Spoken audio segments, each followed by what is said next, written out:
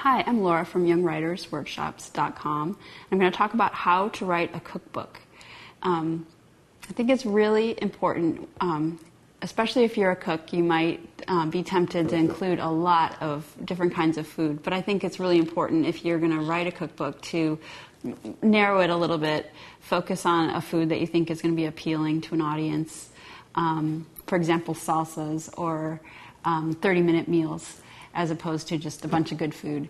Um, uh, so pick your topic and then really focus in a little bit and really create a range of recipes that fit within that topic. Um, now, as far as writing the cookbook, I think it's really important to cook a lot.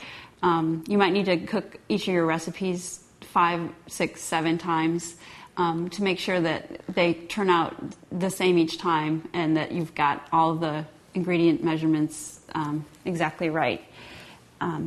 When it comes to the writing, once you have your recipes, remember that it's pretty easy to find a recipe on the internet or, you know, on the back of a box somewhere.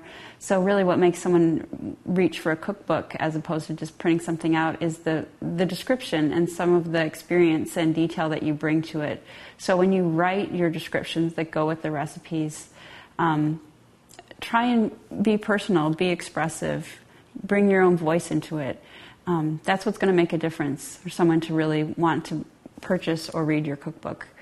Um, a, a, photograph is maybe not necessary for every recipe, but I would uh, use photographs because they really entice the cook, the potential cook, to try your recipe, and really also serves as a guide for what uh, they are striving to achieve in making this dish.